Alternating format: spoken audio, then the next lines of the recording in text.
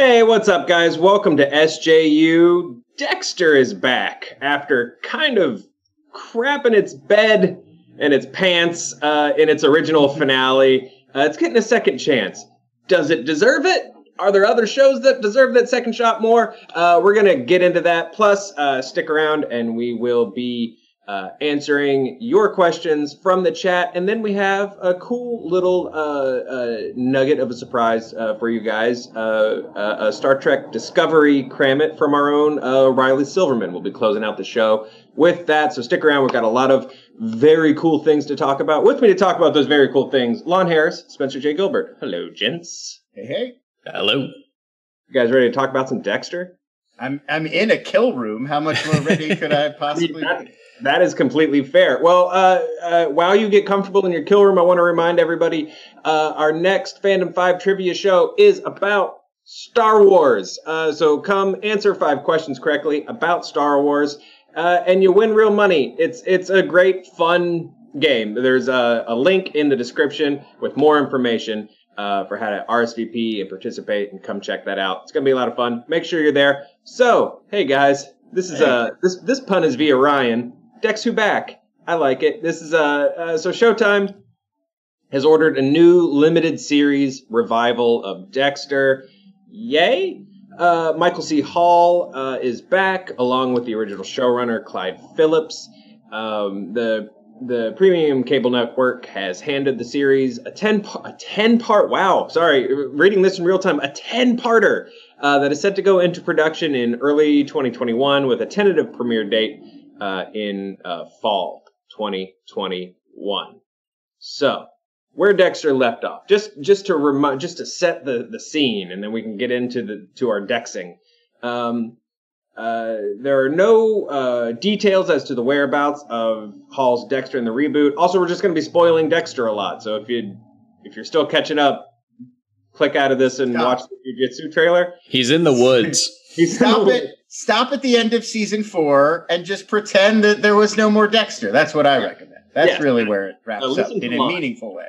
Uh, so uh, the finale of uh, of season eight saw Dexter having faked his death and living under a new name in Oregon after wrecking his boat and escaping a hospital with the body of his sister, who had been shot and left in a coma, and having sent his son Harrison and love interest Hannah to live in Argentina. Or like Lon said, it stopped at season four. They, the, the, the crime of Dexter is that it had a beautiful, perfect finale. Season four's season finale is mwah. The, the end it. It's done. That's it. It comes full circle. Everything comes back around. It's like four great seasons of TV that mm-hmm. wraps up beautifully. And then it just lurches on for four more years. And they very clearly never figured out anywhere else to go. The last season's pretty strained and, and I mean you didn't even mention that the last shot of the show basically reveals that he is now a lumberjack as if one as if as if that's incompatible with serial killing. Like is that supposed to put a pin in the serial killing? Like well he couldn't be a serial killer anymore. Now he's a, a lumberjack? Like i don't think of that as men, so he cuts into trees. yeah how is that how is that like a wrap up kind of moment? Anyway it's just ridiculous uh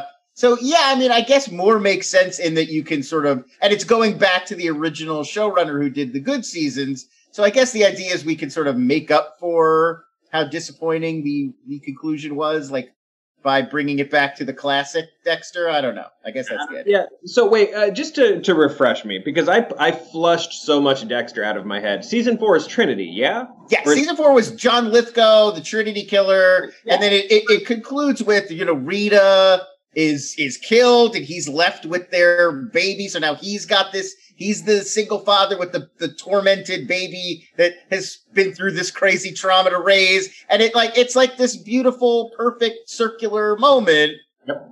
And and you know he's already Trinity's already dead, so it's like it's a real conclusion, and it's it's very clear that they didn't know how to keep going, and then they just kind of kept coming up with stuff that sort of half was figured out, like Yvonne Strahovski or that crazy season with Colin Hanks and Edward James Olmos. Now I've heard a rumor that Spencer loves the latter seasons of Dexter. Yeah. Spencer, what's wrong with you?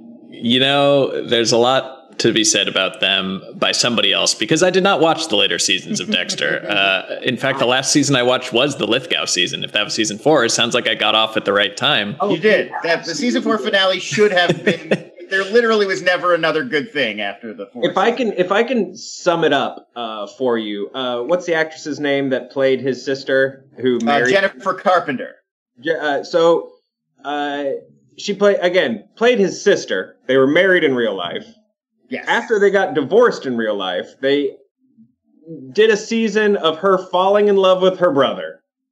After they got divorced, isn't And that it's- fun? Isn't that and fun? it's particularly That's so upsetting twisted. because they did they did such a good job of establishing this very realistic brother sister relationship in the early seasons. Like they're both very good actors, and it was very convincing. And so then it takes this bizarre turn, and you're like, no, you've already sold me on them being brother and sister. You can't not you can't undo that now. Is That's how it- it works. is Dexter? So look, you know, I, I, can't I can't speak for the world, you guys. Uh, is there enough interest, like collect, like a collected fandom outcry to to give Dexter a second shot, or did it take enough second shots and then uh, it it doesn't deserve any more? I don't think there's any interest. I mean, if Dexter's remembered for anything, it's for ending terribly. Um, So, look, enough time has passed. If it's like, you know, it was on for six years, it's been more than six years since we've seen it. Maybe those feelings have faded, or, but also the memory of Dexter has faded. Uh, I don't remember much except like John Lithgow uh, trying to be scary.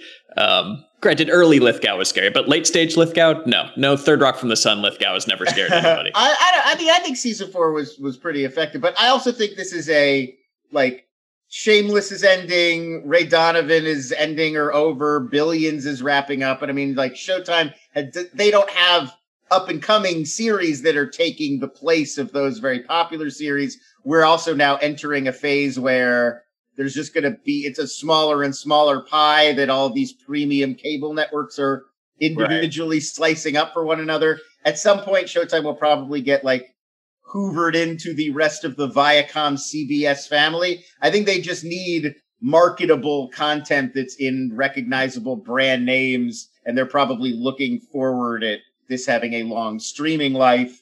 And more seasons of Dexter are going to be more valuable to them than new seasons of some other random show, like on Becoming a God in Central Florida, which was great, but which didn't build up a brand name in one season as significant as Dexter. Yeah, well, so we see this happen a lot, right, guys? Like, um, it, on the big screen and the small screen, you know, Halloween uh, got its continuation that ignored a huge chunk of uh, of the franchise. You know, even when Roseanne came back, they ignored you know that last one or two seasons where it was all stuff she made up for a book and Right. blah blah blah blah blah, and it got real weird. So even you know that revival like ignored uh, its end She chunk. won the lottery, Joe. Get it right, please. Sorry, sorry. Uh, I remember a book. Am I making that up? I No, don't. no, that's how they explained it later. But in the show, she won. Roseanne she. Connor won the lottery. Yeah. Yeah, more Roseanne on this show. Uh, Yeah. that's what we need. Um, You're already wearing your Pizzagate hat. Might as well just go full Roseanne. oh, this whole thing is just something that's fun. fun. Um, are there any shows, uh, or hell, even even movie franchises that you guys do wish like could get that second shot? Like, uh, Sure. But I mean, it generally doesn't work well. I mean, and, and also like the the uh, for whatever reason, and I'm grateful. Uh, like IP doesn't seem to hold as much sway on television as it does in movies. Like the Lethal Weapon show, and like when they try to take brand names and make them into uh, into series, it usually flops for uh, uh, for better or worse, and kind of makes room for more original things. But yeah, I'm sure we've all got a like a laundry list of old t- canceled TV shows we'd love to bring back. Um, I want to see more uh, uh, Insomniac with Dave Attell. I was just thinking about how has that not been going for a hundred years? I mean, just get like a a drunk stand up to wander around from between the hours after the stand up show to the morning. Like, what? It's gold, Jerry. I- I, I don't understand why that show hasn't still been going on. ironically, I think that also ended with him talking with and becoming a lumberjack. A lumberjack. So tell me about cutting down all these trees, man. Whoa! God, that show was good. I love that that's the first place that you went. Like to the the 15 year old Comedy Central Dave Attell docu series where he hangs out with guys who uh, make ice cream treats at 4 a.m. Uh, yeah, I would love to see more Insomniac with Dave Attell at post COVID. I don't want to put him out there right now. Yeah. Yeah. Yeah, post COVID. Uh, I mean, number one, and I know a lot of the internet is already annoyingly yelling about this, so it's not just me, but Hannibal, guys, Hannibal. I desperately want them to bring back Hannibal. They were on the verge of doing Silence of the Lambs, but even if they can't get the rights to Clarice Starling and her story, there's so much more cool stuff you could do with those characters in that world. Gone Yeah. too soon, for sure. Also, we never got, I always felt like Lost we got sort of tantalized at the end with there were all these years when like Ben Linus and Hurley were like in charge of the island and like them sort of managing everything. And we never really got a glimpse of that era. That would be a fun spin-off show. I would watch two or three seasons of here's I what know was going on in the island when Ben and Hurley were in charge. I know Lost hits a lot of these lists of like uh, disappointing TV finales. It usually is is on them because it was too Yeah. ambiguous. I, I mean, I, I, I get that about, like, I think the final Lost season is a little bit of a letdown because it kind of does this, like, they don't want to delve into some of the big mysteries from early seasons. It's already kind of moved on. So they do this kind of sleight of hand, like, oh, look, Sideways universe. What's going on on there? Let's go check it out, guys. Forget about this stuff. Let's go. What's up? What's over here in the Sideways universe? Um, but actually, the finale as an episode, I think, is pretty good. Like, I really, I like how it all kind of wraps up. It's just that they kind of pulled that final season sleight of hand, which is it's a little annoying. Well, uh, May Caber in chat agrees with you. She says I think a lot of people would be into a Hannibal return. Oh my god, it'd be so good. Uh, at Chid uh, mentioned a few. Uh, he said uh, American Vandal he'd love to see return. uh, and obviously, and I agree with that. There are a lot of good shows that just don't continue. Well, yeah, Netflix, especially like in the streaming era, they cut off a lot of shows like way before they've, you know, like networks would usually, if you get back for season two or three, they'll let you sort of run through your good Right. ideas. And Netflix is like, no, you're done after three, even if it's Yeah. great and still going strong. And then, but then you know, there's stuff. Uh, he also, uh, uh, uh, Chid also included uh, Sense8 on their list, and um, sure. you know, Sense8, Sense8 was great. It, I feel like it got a chance to to wrap up. Yeah, Uh, I mean, I I liked it. That there's just that's like a very soft spot for a lot of people. Like a lot of every time Netflix tweets like still, you get like bring Sense8 back. I think it was just it was also so ambitious that it feels Mhm. like you want to see the creators get to finish that vision. You know, it's like this huge idea. Um, so I feel like people are frustrated that they didn't get to see it all play out. You know. Is there anything that just like went off the rails that you'd love? You know, like like Dexter's getting this this opportunity to to right the wrongs and delumber the jacks. I don't I don't know.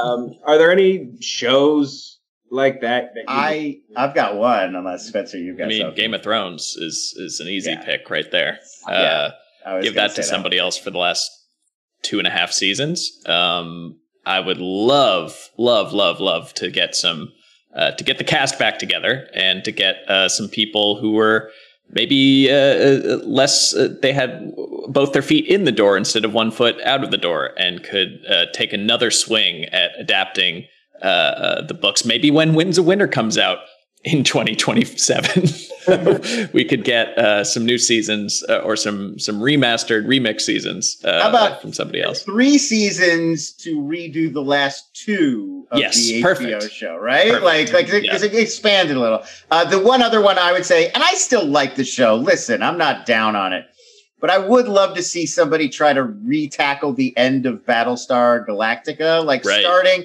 starting from the All Along the Watchtower Yes. episode on and just Yeah. like rethink giving away so many Cylon secrets right away. And like, I would just love to see another creative team take a crack at that because it's still good, but it was so good up till there, and then Yeah. it kind of drifts off a little. agreed Yeah. Um, I was, uh, you know, uh, I think True Blood is an example of, you know, I think along with Dexter, uh, you just need to know when to fold them. Like season four Dexter, great high note. end the show. Like I know it's tough when everybody's watching your thing and blah blah blah, but like just know when a good thing's over. And I feel like True Blood, the first season, second season, they all start to meld together, but uh, eventually it starts to collapse under its own world. All the, uh, she's a fairy, and I think there's a Frankenstein, and you know, uh, and it, it just gets, it just collapses like Okay. a dying. It's okay. it just collapses like a dying star at some point, and that's another one where um if you could do like a like a six episode mini that just wraps up like the first two seasons of like really solid like vampire storytelling from True Blood, I think that that that that's one that maybe deserves it. It's a it's a very talented cast and you know all that good stuff. Um eh, and then uh hmm, I'm trying to think of any other shows. Uh I would tighten uh uh, most of the Defender shows. Um, There's always like that would be so much better if they were eight to ten episodes instead of like Yeah. twelve to fourteen. I think every season of every one of those shows would be improved by going to 10 from 13. It's just 13 is just they don't have the budget, they didn't have this you know, like it was just too much, too much story for one season of these shows. yeah, uh, yeah, maybe maybe a movie to like give them a final bout. I mean, I I, I still think Charlie Clock, Char, Charlie Charlie Cox, uh, Charlie Cox is going to show up uh, as Daredevil in the MCU proper. I, I still think it'll happen. It's just such an easy win for Disney to, to make that call.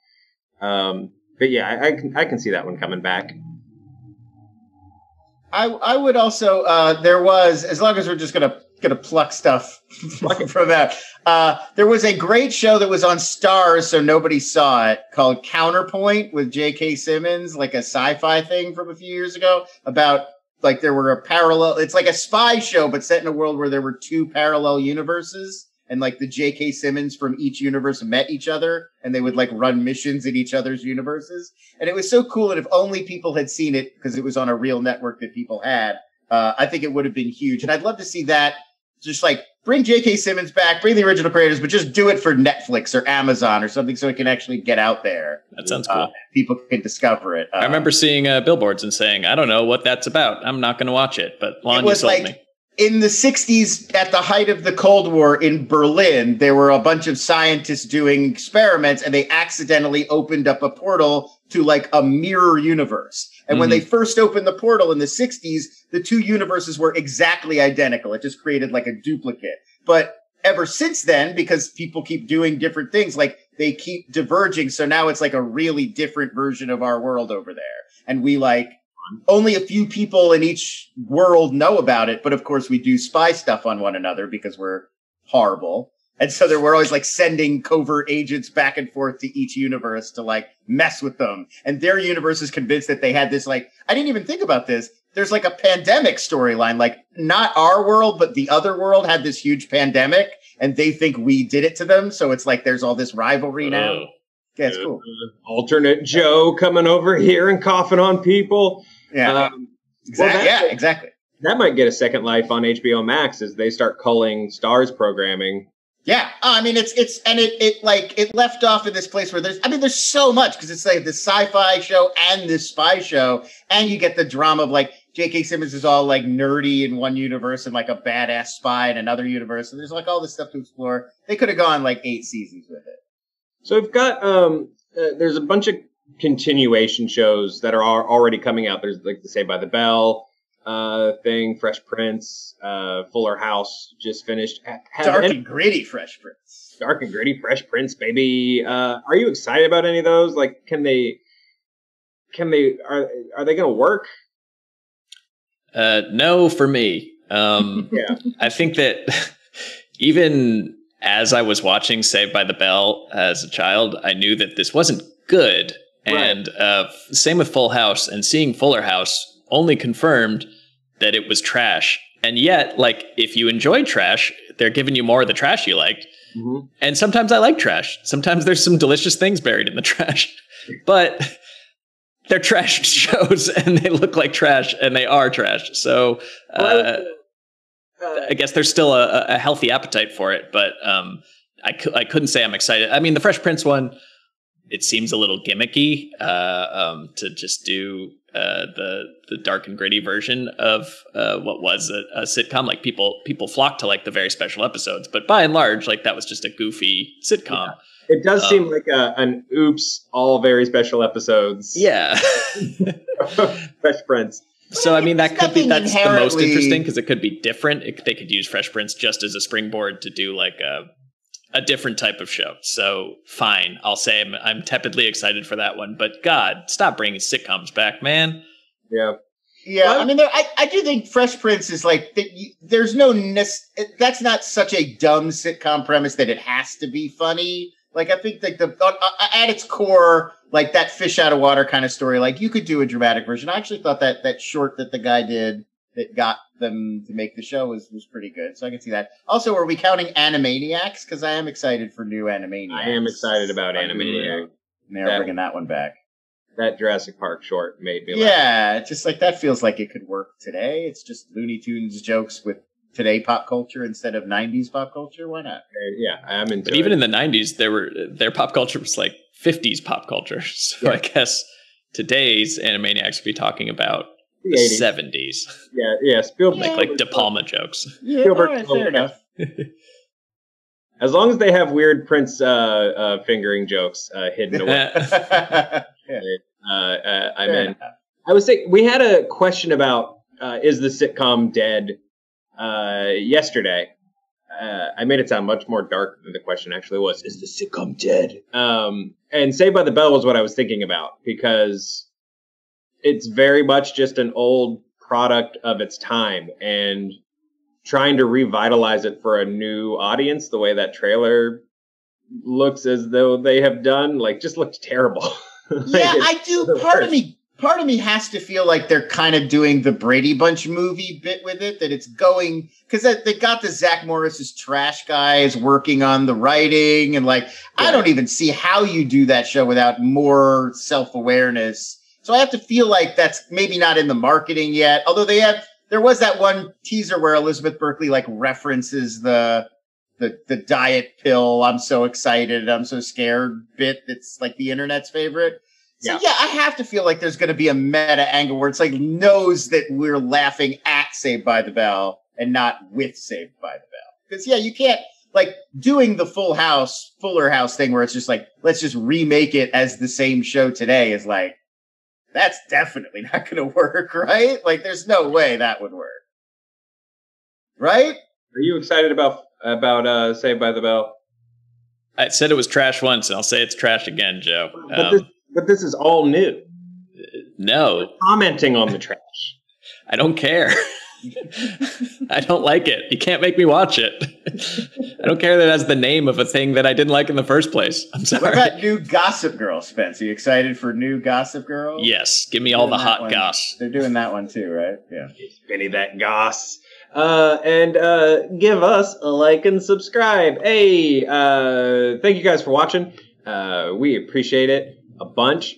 Uh, and in addition to, again, Fandom 5, uh, Star Wars, link in the description. Click it. Uh, make sure you guys check that out. Win some real money. Uh, another thing I really wanted to plug today was, uh, hey, Lon Harris. Hey, it's me. Aren't you doing a, a, a, podcast with with with a with a with a pal with a with a family pal? I am my old uh, Owl Nation partner, as you recall from movie fights. Hal Rudnick and I. Uh, he will not. He still will not stop talking about Owl Nation, even on this podcast comes up like four times an episode. Uh, we're doing a show about streaming TV called Binge Boys. It's a lot of, uh, you know, we do some news. We do a lot of like, here's all of the random stuff we watched on every streaming service this week. A little bit of, a little bit of comedy as well. Uh, and that's, you can find it right now. It's on the Starburns Audio Network, home of many fine comedy podcasts. Uh, and you can find it now on all the major services, iTunes, your Spotify's, your Stitchers, maybe some others, your, your Google playlists.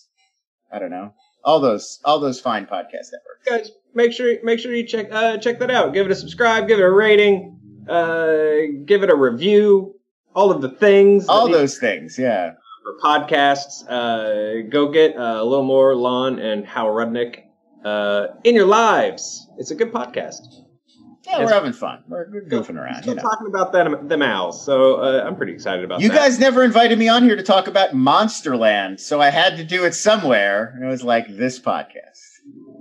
Hey, hey! Oh, is that the Hulu thing? That's the Hulu anthology. Like, it's not really horror, but every once in a while a monster will show up just so we can say it's horror and put it out in Look, October. It's, it's very well made, but we also wanted it to be about monsters.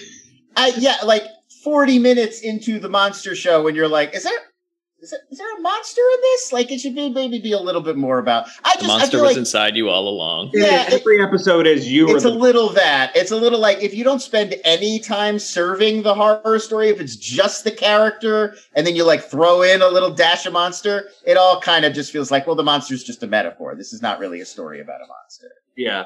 Like It- clearly it's you're just using it's, the monster is like rage. And look, it's very well done. Uh, and I, the first, I think we watched the first three. Uh, Yeah, those are that's the one that's the one I watched. And if I hadn't walked into them going, "Ooh, monster show," I might, I might enjoy them. But if you're, if it's, it's, it's Halloween, baby, and if you're looking for spooky stuff, that might, that might not be it. I don't know. No, Um, no, it's it's a little bit more like for some people, a lack of education is their monster. For others, a bully is their monster. You know, it's just like I just I, actual monsters next time. Yeah, uh, yeah, and all of them uh, also feel like they end uh, with uh, Mad World, the acoustic version of Mad World. Yeah, well, Dark Electric God. at the end of all of Little little tinkly piano as we back away. Yeah, a little bit. A little bit. All around me are familiar monsters. This that second, I I like the first and the third one a lot more. The second one where it's like this guy sees like a shadow monster in his house, and so his reaction is to join like an alt right online hate group. Like he becomes a proud boy. It's a little but we don't know it's the Proud Boys The until the connection between the two storylines in that one, it's a little thin. I don't know. I'm gonna work on that. Boys are the real monster. Um, Right. Surprise, surprise. The Proud Yeah. Boys are the real Uh, monsters. Uh, uh, you guys want to want to want to want to talk to chat? Let's do it. Uh, Benzatine asks, uh, "Ah, this this is a this is a good question. Did you guys use this time stuck at home for home improvements?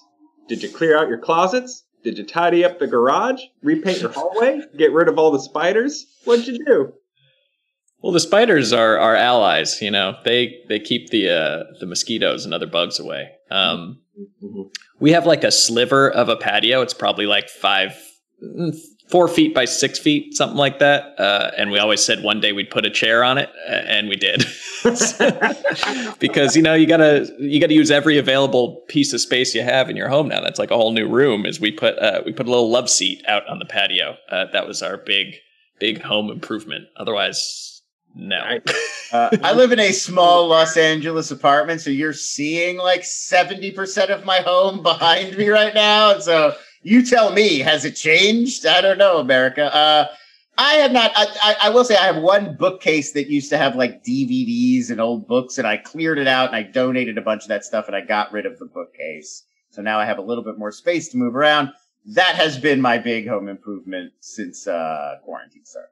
We had to uh i mean because of the uh gotta work from home now like we had to do practical changes. Like we had to turn uh uh we had to do some adjustments. But my wife's an artist so she has her own studio. But then some of her work had her in the living room during part of the day. And we had to sort of uh uh change some things up so that now she's just in there and I'm just in here doing doing this stuff. This is very exciting content for everyone watching at home. They ass, man. So we It's not that. on us. Uh, and uh, and we, we we painted a hallway. So my we've been busy. All right. By we, I mean her because she's talented and good at things, and I'm this.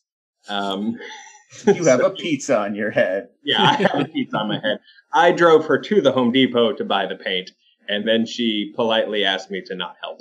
Uh, that's that's where we were at. Makes sense. Um, us to me, uh, us to me, Eduardo uh, says, which sitcom with a live audience do you think benefited the most from having a live audience? I always think about Married with Children because the audience reactions added a lot more. Oh yeah. Well, they were a boisterous audience, and it was more than just laughing. You'd get a lot of like, ooh, and uh oh, and like that kind of stuff. Yeah. That that was great. Yeah, and talk about a show that like, look, I don't want to give them any ideas, but uh, t- like a better version of um, God, what's that Tim Allen thing? Like Last Man Standing Last would Man just be to- yeah. just be bring Married with Children back. My God. Which just got canceled. Did you guys see? Fox just Yeah. pulled the plug after nine seasons.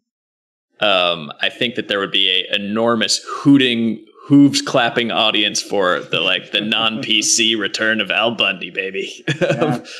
Yeah. Uh, All But yeah, that, that show was would be huge. I, th- I was thinking Arsenio Hall, but that's not a sitcom. Um, But yeah, but you got to Well, have I mean, the actually, hooting let- and hollering. Who uh who's your new Al Bundy? Because I think that's oh, it's still him. It's still, It's still uh, him. Ed O'Neill for sure. A thousand like his- percent. After Modern Family, it's like he's got a third new family now, and it's more Bundy esque. Uh, yeah, And I think he just that- picked right back up. Like he's just still in that chair. Um, still a shoe Yeah. salesman. I, Uh, I do. Uh, I also think I would throw Cheers on the pile here, just because that kind of it, it, like not only is Cheers the bar where everybody knows your name, but the audience, like every time a new character would come in, it was like a, the return of a familiar face, and it was like a very like everybody was happy to see Norm show up. Not only the people in the bar, but the audience watching as well would give him like a greeting. Uh, it was kind of kind of nice. I'm Yeah. going to say that Friends benefited the most because without the live audience being told when to laugh, no one would. Thank you, Joe. I've converted you. And I would say uh, oh Seinfeld. my god! uh, Seinfeld was interesting where it was like the audience almost got in the way after a certain point. Like when the show really took off, you can see in like seasons five and and onward, like when Kramer enters the room, there's like a 30 second like scream break. Yeah. it's just like, ah, it's Kramer. Finally. Uh, And for for those that uh, don't just um, uh, for a little peek behind the camera, uh, sitcom live audiences are so controlled and directed. Like there are people going, and and really, it, it feels like it very much feels like uh, an evangelical church back home, where an usher walks around to make sure that everyone has their eyes closed and are in the spirit properly. Uh, to make sure you laugh at the right times, make sure you're laughing a lot, to make sure you're going, hey, when Kramer slides in and, and all that good stuff.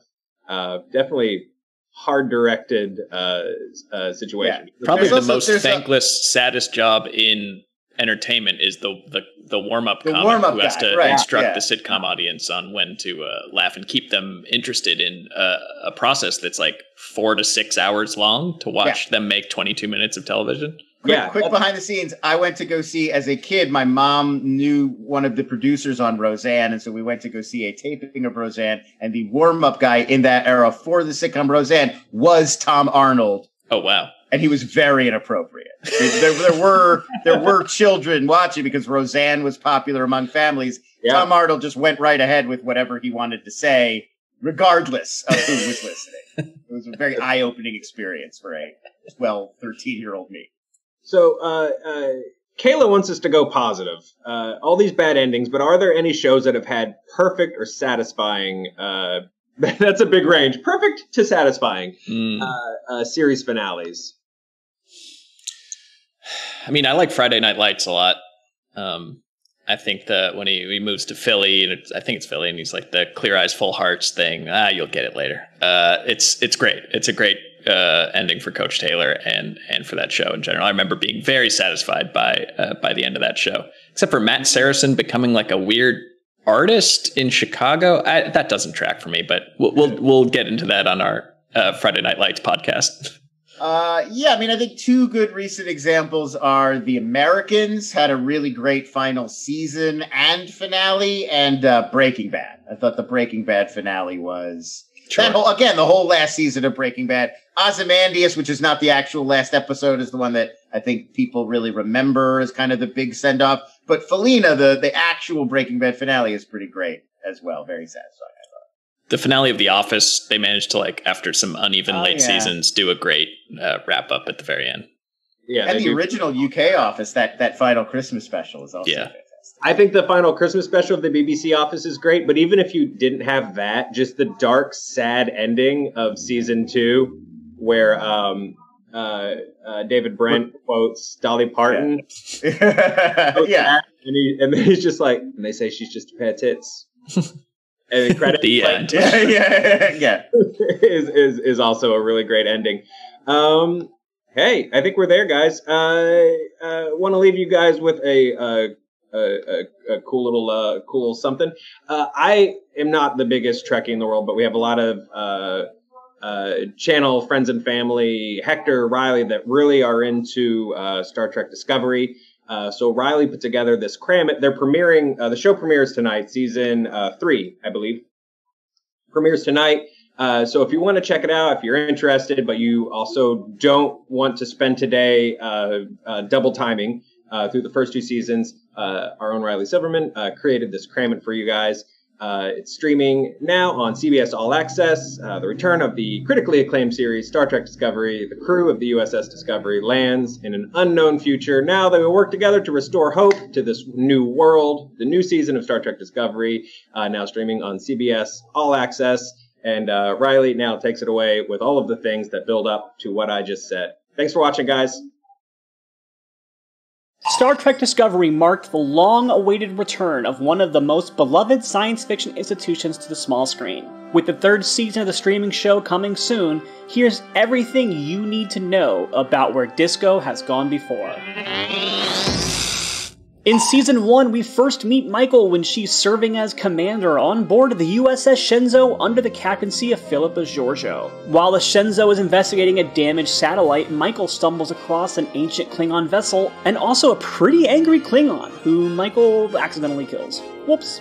The Klingons, led by a zealot named T'Kuvma, vow to destroy the Federation, who they see as assimilationist conquerors. We learn that Michael is the adopted daughter of Vulcan ambassador Sarek, having lost her own parents in a Klingon raid as a child. This also makes her the adopted sister of Spock, which might be relevant later. Anyway, back to the Klingons, Sarek tells her the Vulcans earn the respect of the Klingons by firing on them first, which Michael attempts to do against the captain's orders, fails and is thrown into the brig for mutiny. Meanwhile, reinforcements arrive for both sides of the conflict. Michael and Georgiou attempt to capture T'Kuvma, but the Klingon leader and the captain are both killed in the process.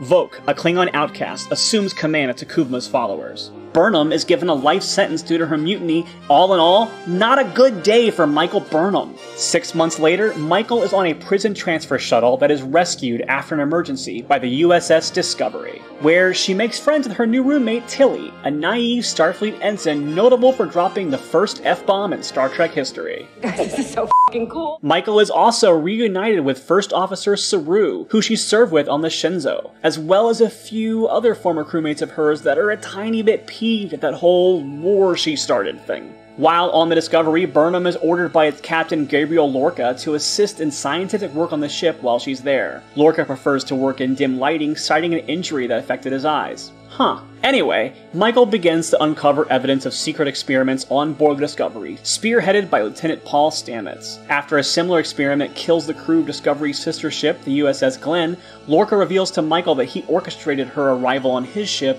and feels that free thinkers like her would help him win the war, and reveals the ship is working on a new spore based propulsion system. He also has a mysterious creature from the Glenn secretly transported to the Discovery. That creature, revealed to be a giant tardigrade, has a natural connection with the spores and is the key to unlocking an advanced form of jump-based travel. Back with the Klingons, Voq loses command of T'Kuvma's followers to the charismatic Kol, who leaves him to die. L'Rell, another Klingon, swears secret loyalty to Voq and promises to restore his leadership. Lorca is taken captive by the Klingons and is tortured by L'Rell alongside another Starfleet officer, Ash Tyler, and a criminal named Harry Mudd. In prison, Mudd tells Tyler that Lorca was the only survivor when his previous ship was attacked by Klingons. I didn't let my crew die. I blew them up. Lorca reveals that he destroyed his own ship, feeling he was giving his crew a quick death versus a slow and painful one at the hands of the Klingons. Tyler and Lorca hatch an escape plan, leaving Mudd behind. Mudd swears revenge. You haven't seen the last of Harcourt Fenton Mudd! On the Discovery, Burnham grows concerned that overuse of the spore drive is killing the tardigrade, whose name is Ripper, by the way. Isn't that cute? Anyway, Stamets infuses his own DNA with Ripper's, which allows him to become a human flight computer, but, well, there are side effects. There are several episodes dealing with the events of the war, but since we don't have all day, Mudd tries to get his revenge on the heist involving a lot of time loops, Sarek's ship gets destroyed, causing Michael to delve deeper into some major unresolved issues from their past. Starfleet Admiral Cornwell suspects that Lorca isn't fit to lead, but before she can do anything about it, she goes and gets kidnapped by the Klingons, only to be aided in her escape by L'Rell, who says she wants to defect, but causes a PTSD like triggering of shock to Tyler due to the abuses he suffered at her hands. During their rescue, Lorca makes Stamets jump the ship 133 times in order to utilize an algorithm that'll help in the detection of cloaked Klingon ships. Stamets, feeling ill effects from the spore drive, tells Lorca he'll only jump the ship one last time, seemingly to safety, but actually to a strange, mysterious location. The crew discovers they've entered into a parallel universe, a mirror universe, if you will, where the Federation doesn't exist and the galaxy is instead ruled by a Terran empire, with resistance from an alliance of Klingons, Vulcans, and hey look, Andorians. They learn in this universe Mirror Michael was the captain of the Shenzhou before she was resumed killed by Mirror Lorca. Mirror Tilly is captain of Discovery and kind of a badass about it. Burnham takes Lorca to the Mirror Shenzhou where she assumes command and he assumes being tortured. There's a lot of intrigue and adventure that happens in the Mirror Universe, but there's a few especially big reveals, and for the sake of time, let's just get right to them. First off, Tyler discovers that he's undergone some extensive physical alterations, causing him to lash out and kill Discovery's Dr. Culber. And after a meeting with Mirror Voq, the leader of the rebellion, Tyler realizes that he was never Ash Tyler at all, but is actually a disguised sleeper agent Voq. Second, Burnham learns that the Terran Emperor is none other than Mirror Georgiou, who had raised Mirror Burnham as a daughter only to be betrayed by her. But speaking of betrayals, while Mirror Georgiou is probing Michael for information on her universe, Michael realizes that Captain Lorca has been Mirror Lorca this entire time, and he has been manipulating events in an effort to get back to the Mirror universe. Never trust Jason Isaacs, people, it always burns you! Lorca is killed in an attempt, alongside Mirror Stamets, to seize the throne of the Mirror Universe, and the Discovery crew, along with Mirror Georgiou, use the Spore Drive's mycelial network to return to their own universe. The ship arrives nine months later to find the Klingons have nearly won the war. Admiral Cornwell and Sarek explain that the divided Klingon houses have made it a contest amongst themselves to destroy as much of the Federation stuff as they can, and Starfleet is withdrawing to try to fortify Earth. Meanwhile, Georgiou says that she defeated the Klingons in her universe via a surprise attack on their homeworld Kronos. Cornwell has her pose as the late Captain Georgiou to lead such a mission. Upon realizing that the completed plan would result in the annihilation of all life on Kronos via a series of volcanic eruptions, Michael questions the mission, insisting that even at its most desperate, Starfleet must not commit genocide. She convinces Georgiou to give her the detonator, which she then gives to L'Rell, who uses a threat of annihilation to unite the Klingon factions under her new leadership, effectively ending the war. Ash Tyler, who has undergone an operation to stabilize his personality in Voq's body, chooses to stay with L'Rell.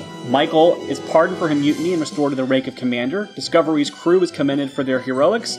As the ship heads to Vulcan to pick up their new captain at the end of season 1, they receive a distress call from another starship, the USS Enterprise. Season 2 picks up immediately where the first left off, and while it is in many ways significantly more complicated than Season 1, it's actually easier to recap by breaking it down by some of its core elements. While there are several interesting subplots involving Tilly being infected by a life form from the Mycelial network, and the once murdered Doc Culber being brought back to life from said Mycelial network, the season's major plot revolves around a mysterious set of seven red signals that appear throughout the galaxy. After Discovery responds to the Enterprise's distress call, they learn from Captain Christopher Pike that after the Enterprise detected the red signals, the ship underwent a total systems failure that left it stranded. Much of the season then follows as something of a chase quest, with Discovery seeking out the various signals and trying to determine their cause. Simultaneously, Michael begins seeking out her brother Spock, who has taken a mysterious leave of absence and, Michael discovers, has also been investigating the signals. The signals frequently lead Discovery to a crisis and needed their intervention, including a wrecked ship from the Klingon War, the USS Hiawatha, as well as New Eden, a colony of pre-warp humans saved from Earth's World War III, they take them to Saru's homeworld, where they upend the subjugation of his people under a rival race, the Ba'ul, and to an ancient dying sphere containing vast amounts of information from its time in the universe. Most of these events are tied to a mysterious Red Angel, a figure that Michael encounters that seems to be connected to all the signals. The figure also ties into Michael's search for Spock, who drew images of the Red Angel as a child. Ash Tyler and L'Rell have had a child together, but its safety is threatened by rivals to L'Rell's command over the Klingons. With the help of Mirror Georgiou, the death of Tyler and the baby are faked, which allows L'Rell to consolidate her power. Georgiou recruits Tyler into Starfleet's clandestine operations, Section 31, and the baby is taken to be raised in a Klingon monastery which studies time crystals. This plotline converges with Michael's when Section 31 begins their own investigation into Spock, who's been accused of murdering three doctors. Through the murder investigation, Discovery crew interacts with Control, Starfleet's AI interface, which is housed at Section 31's headquarters. It is discovered that Control staged the footage of the murders that Spock is accused of using holographic footage, and is attempting to seize the data that Discovery obtained from the dying sphere. Control effectively now functions as the primary antagonist of the season, seizing control of Section 31 and operating its starships and even many of its humans like drones. The Red Angel is revealed to be Michael Burnham's mother, who had been working on time travel technology with Section 31 at the time the Klingons attacked their colony. She took an experimental time suit to attempt to warn of an attack, only to arrive over 900 years in the future, where she found that all sentient life in the universe had been destroyed by Control. She reveals she's made over 840 time jumps in an attempt to stop Control, but inadvertently led a future version of the evil AI back in time where it infected its own past self like a virus and began to seek out Discovery and the Sphere's data. Burnham realizes that the data on the Sphere is too powerful to allow Control to gain access to it, and so she proposes a wild plan. That they will use the time crystals and harness the technology of the Red Angel suit to send the Discovery into the future where Control cannot access it. Discovery has to go to the future. They create a copy of the Red Angel suit while the Discovery and Enterprise do battle with a fleet of control powered drone ships. Michael operates the suit, herself setting the five red signals that the ship has followed throughout the season, and a sixth for Discovery to follow her. After Control and its ships are destroyed, Michael and Discovery travel over 900 years into the future. The Enterprise purges itself of all systems that could be infected by an AI like Control ever again, and their crew reports Discovery was destroyed in battle. At Spock's suggestion, all references to Discovery and its crew are stricken from the records to prevent another control like incident and to explain to Star Trek fans why no other series has ever mentioned a spore drive or Spock's sister before. Months later, the Enterprise receives the seventh red signal, a message from Michael in the future that they arrive safely. And that's where we last left Discovery. What sort of universe will they find themselves in once the ship arrives in the future? We'll find out in Season 3 of Star Trek Discovery, only on CBS All Access starting October 15th.